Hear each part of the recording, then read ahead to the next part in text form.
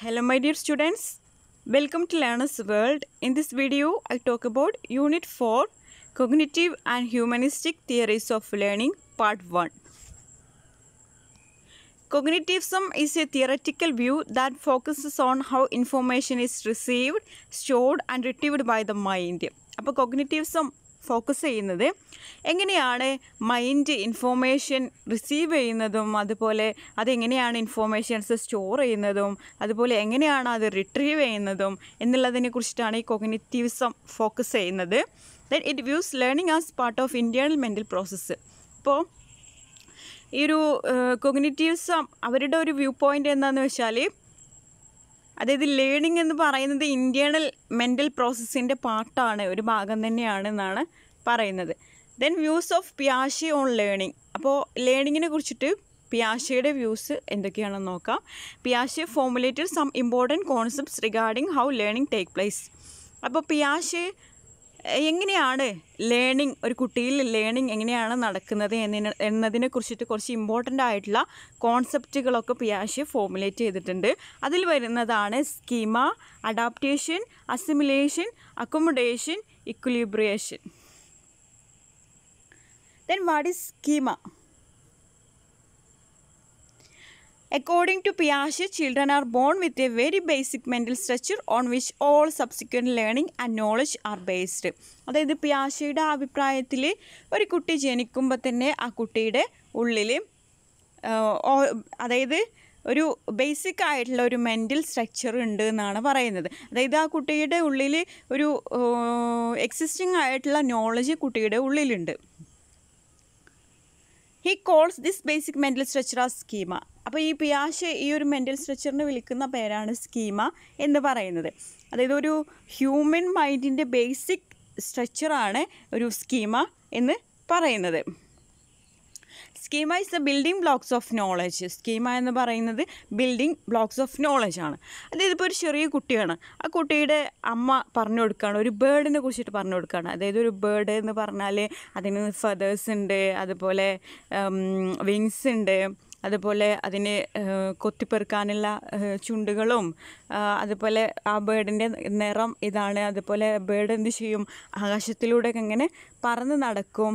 എന്നുള്ള കാര്യങ്ങളൊക്കെ അമ്മ പറഞ്ഞു കൊടുക്കണം. അപ്പോൾ ആ കുട്ടിക്ക് ആ ബേർഡിനെ കുറിച്ചിട്ടുള്ള യൂണിറ്റ് ഓഫ് നോളജ് അതായത് blocks of building blocks of knowledge ഉണ്ട് ആ കുട്ടിയുടെ ഉള്ളിൽ അതായത് ഒരു ബേർഡ് എന്ന് പറഞ്ഞാൽ ബേർഡിന് പറക്കാൻ കഴിയും. അതൊരു യൂണിറ്റ് ഓഫ് നോളജാണ് അത് ആ കുട്ടി ആ കുട്ടിയുടെ മനസ്സിൽ സ്റ്റോർ ചെയ്ത് വെച്ചിട്ടുണ്ട്. അതുപോലെ അതായത് ഓർഗനൈസ് ചെയ്തിട്ട് സ്ട്രെച്ചേർഡായിട്ട് വെച്ചിട്ടുണ്ട്. അതുപോലെ ആ പക്ഷി പക്ഷിക്ക് ചിറകുകളുണ്ട്.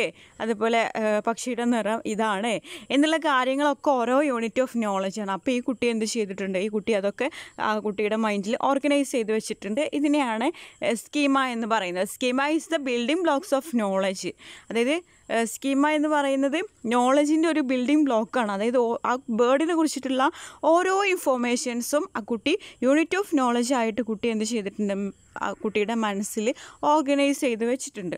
It is useful to think of schema as unit of knowledge is relating to one aspect of the world including objects actions and abstract concepts അതായത് സ്കീമ എന്ന് പറയുന്നത് യൂണിറ്റ് ഓഫ് നോളജ് ആണ്. അതെന്തും ആകാം. ആക്ഷൻസിനെ കുറിച്ചിട്ടുള്ള നോളജ് അല്ലെങ്കിൽ ഒബ്ജക്ട്സ് അബ്സ്ട്രാക്ട് കോൺസെപ്റ്റ്സ് ഇവയൊക്കെ കുറിച്ചിട്ടുള്ള നോളജൊക്കെ ആവാം എന്നാണ് പറയുന്നത്. Schema enables to form a mental representation of the world. അപ്പോൾ ഈ ഒരു സ്കീമ ഈ ഒരു ലോകത്തെ കുറിച്ചിട്ടുള്ള ഒരു മെന്റൽ റെപ്രസെന്റേഷൻ ഫോം ചെയ്യുന്നുണ്ട്. Then what is adaptation?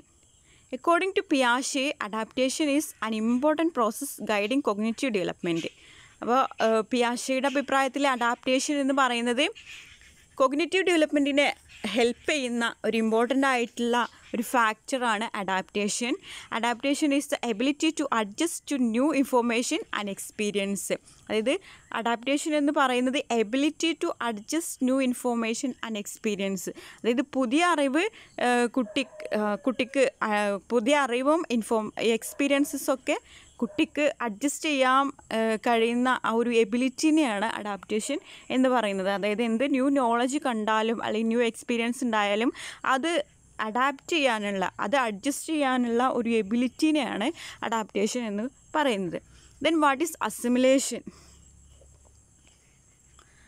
the process of using an existing schema to deal with a new object or situation അതായത് കുട്ടിയിൽ എന്തുണ്ട്? ഒരു എക്സിസ്റ്റൻസ് സ്കീമയുണ്ട്. അപ്പോൾ ആ ഒരു എക്സിസ്റ്റൻസ് സ്കീമ യൂസ് ചെയ്തിട്ട് അതായത് ഒരു ന്യൂ ഒബ്ജക്റ്റ് ഓർ സിറ്റുവേഷൻ കാണുമ്പോൾ അതിനെ ഡീൽ ചെയ്യുന്ന രീതിയാണ് അസിമുലേഷൻ എന്ന് പറയുന്നത്.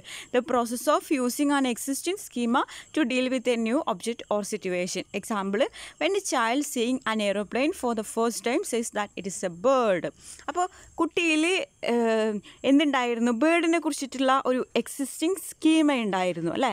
അതായത് ബേർഡ് എന്ന് പറയുന്നത് പറക്കാൻ കഴിയുന്ന ഒരു പക്ഷിയാണ്. അതൊരു യൂണിറ്റ് ഓഫ് നോളജ് കുട്ടി സ്റ്റോർ ചെയ്തിട്ടുണ്ടായിരുന്നു. ബേഡിന്റെ കളർ ഇങ്ങനെയാണ്. ബേഡിന് ചിറകുകളുണ്ട്. അത് അങ്ങനെയുള്ള ഓരോ യൂണിറ്റ് ഓഫ് നോളജ് കുട്ടിയിൽ സ്റ്റോർ ചെയ്തിട്ടുണ്ടായിരുന്നു. അപ്പോൾ കുട്ടി പെട്ടെന്ന് ആകാശത്തൂടെ ഒരു എയറോപ്ലെയിൻ പോകുന്നത് കണ്ടു. അപ്പോൾ കുട്ടിയുടെ ഉള്ളിൽ എന്തുണ്ട്? ഒരു എക്സിസ്റ്റൻസ് സ്കീമ അവിടെ ഉണ്ട് അല്ലേ? കുട്ടിയുടെ ഉള്ളിൽ കുട്ടിക്ക് ആദ്യം കിട്ടിയിട്ടുള്ള ഒരു അറിവുണ്ട്. എന്തായിരുന്നു? അത് ഒരു ബേർഡിനെ കുറിച്ചിട്ടുള്ള അറിവാണ്. അപ്പോൾ കുട്ടി ആദ്യമായിട്ട് എയറോപ്ലെയിൻ കാണുമ്പോൾ കുട്ടി ഐഡന്റിഫൈ ചെയ്യുന്നു. ഇറ്റ് ഈസ് എ ബേർഡ് അതൊരു ബേർഡാണ് അതൊരു പക്ഷിയാണ്. കുട്ടിക്ക് എന്താണ്? കുട്ടിയുടെ ഉള്ളിൽ ആ എക്സിസ്റ്റിംഗ് നോളജ് ഉണ്ട്. അപ്പോൾ അത് വെച്ചിട്ടാണ് കുട്ടി ഈ ഒരു ന്യൂ ഒബ്ജക്റ്റിനെ ഡീൽ ചെയ്യുന്നത്. അപ്പോൾ അതൊരു ബേർഡാണ് എന്ന് കുട്ടി ഐഡന്റിഫൈ ചെയ്യുന്നു. Okay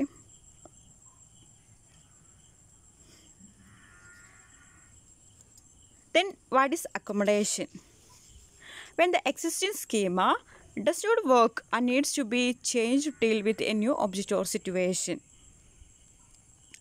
അതായത് ഈ ഒരു എക്സിസ്റ്റൻസ് സ്കീമയിൽ ആ കുട്ടി എന്താണ് ബേർഡിനെ കുറിച്ചിട്ടുള്ള ഇൻഫോർമേഷൻസ് ആണ് ആ കുട്ടിയുടെ ഉള്ളിലുള്ളത്. അപ്പോൾ പെട്ടെന്ന് ഒരു എയ്റോപ്ലെയിൻ കണ്ട സമയത്ത് കുട്ടിക്ക് അത് എയ്റോപ്ലെയിൻ അത് ബേർഡല്ല എന്നുള്ള ഒരു ചിന്ത കുട്ടിയിലോട്ട് വരുന്നുണ്ട്. എക്സാമ്പിൾ നോക്കാം.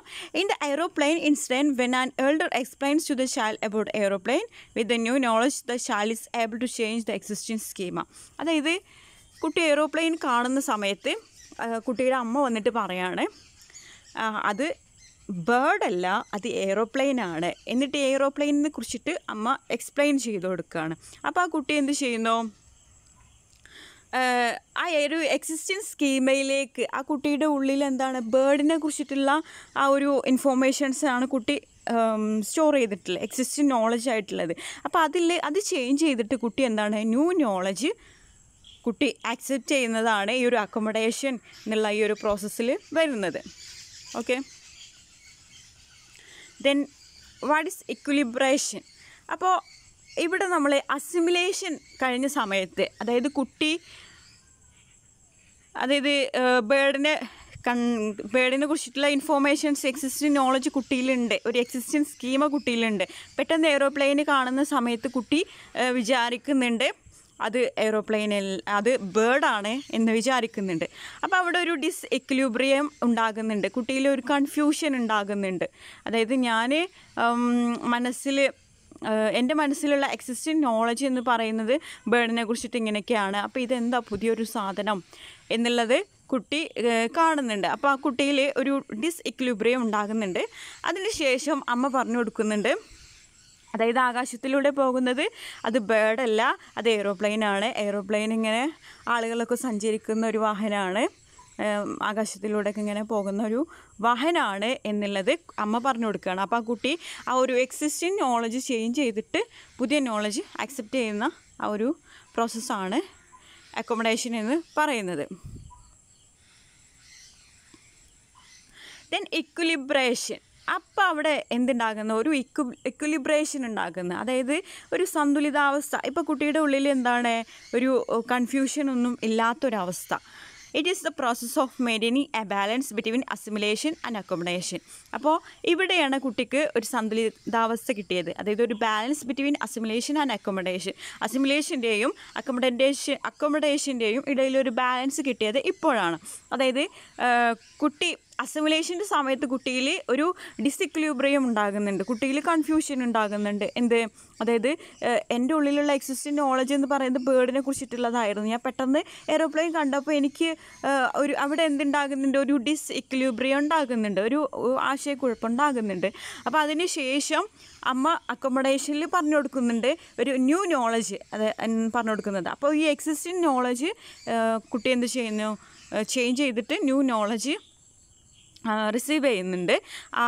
അപ്പോൾ ഈ ഒരു എക്ലൂബ്രിയേഷൻ എന്ന് പറയുന്നത് the process of maintaining a balance between assimilation and accommodation അതായത് അസിമുലേഷന്റെയും അക്കോമഡേഷന്റെയും ഇടയിലുള്ള ഒരു ബാലൻസ് ഒരു സന്തുലിതാവസ്ഥ ഇപ്പോൾ എന്താണ് കുട്ടി കീപ്പ് ചെയ്തിട്ടുണ്ട്. This is the force which moves the development along okay then educational implications teachers should be aware of the learners age and capacity to learn ഇനി കുറച്ച് എഡ്യൂക്കേഷണൽ ഇംപ്ലിക്കേഷൻസ് ആണ് പറയുന്നത്. അതായത് ടീച്ചർ അവെയർ ആയിരിക്കണം. എന്ത്? അതായത് ലേണേഴ്സിന്റെ ഏജും കപ്പാസിറ്റി അവർക്ക് എത്രത്തോളം പഠിക്കാൻ കഴിയും? അതുപോലെ ഏത് ഏജിലുള്ള കുട്ടികളാണ്? അതായത് ചെറിയ പ്രൈമറി ലെവലിലുള്ള കുട്ടികൾക്ക് വലിയ വലിയ തിയറീസും ഇതൊക്കെ പറഞ്ഞു കൊടുത്താൽ അവർക്ക് ഒരു ഐഡിയ ഉണ്ടാവില്ല. അപ്പോൾ കുട്ടികളുടെ ഏജും അവരുടെ കപ്പാസിറ്റി ടു ലേൺ അതൊക്കെ നമ്മൾ ടീച്ചേഴ്സ് എന്ത് ചെയ്യണം? കൺസിഡർ ചെയ്യണം എന്നാണ് പറയുന്നത്. അതിനെക്കുറിച്ചിട്ട് നല്ലൊരു അവയർനെസ് ഉണ്ടായിരിക്കണം.